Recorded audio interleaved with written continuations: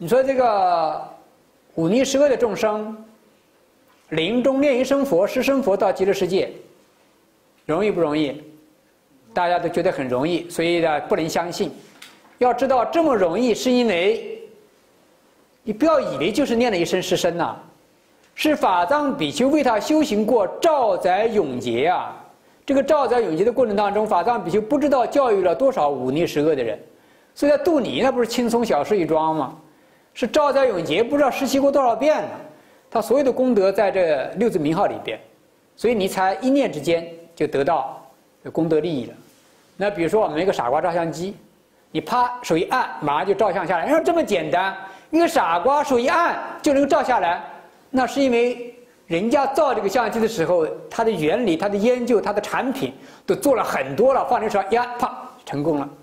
这是你我们就是使用的。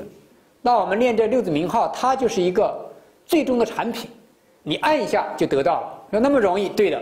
比如我们现在用手机，所以我觉得现在的人呢，啊，更好理解这个他力的法门，因为我们所做的一切都是他力的。那电视机你一按，还就看到什么白宫了；再一按，中南海。那为什么它就出来了？那这么容易，我一按就出来了。我这么笨的人，你看，有的人搞错了，他按完之后他就很稀奇了，说：“哎呀，真的不可思议啊！我的指头那么灵光。”他讲：“哎呦，我的好指头！哎呀，我的指头！”他以为他以为是他指头的功劳，这不是这不是活天的冤枉吗？所以有的人说：“南无阿弥陀，哎呀，你看我的嘴多灵啊！啊，我的嘴念得好啊！你看我的心多好啊！我念得很清净嘛。那跟你的嘴跟你的心有什么关系啊？”当然也不是一点没有关系，对不对？那就像我们那个我们按这个电视机一样，就好像我们按这个手机，以后，你看我的手指头多灵光，不是你指头灵光，是这个手机灵光，也不是手机灵光，是它一个整个大的一个系统啊，无线电发射，这所有一个系统建立起来了。所以法藏比丘救度我们，他建立了一个宏大的系统，十方诸佛都在护念呐，每一个诸佛就是个发射转播台啊。娑婆世界释释迦牟尼佛就是极乐世界六字名号的一个转播塔啊，呱啦呱啦呱啦呱啦阿弥陀佛，呱啦呱啦呱呱啦阿弥陀佛，对不对？然后他灵光啊，然后哎，你来念佛了，你我们这个身体什么？不过是一个那个小手机的个小小小插件而且呢，把这个那个卡阿弥陀佛六字名号那个卡嚓往里面放，你这一按它才灵光。如果卡不放进去，你按看看，手指头按断了都不行。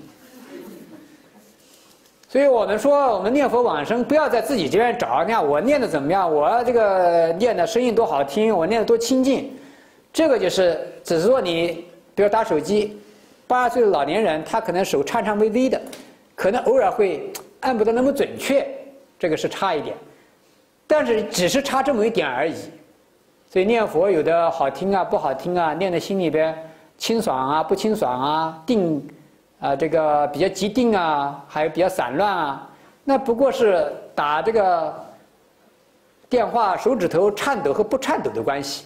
比如你的手指头你很平静很稳定，嗯，按上一个幺三九，它那个呢颤颤巍巍的，它也按下去也是幺啊。那我们的心一样，所以散动的根基就是颤颤巍巍的，但是也念的是阿弥陀佛，对不对？那么你禅定的根基你念的比较。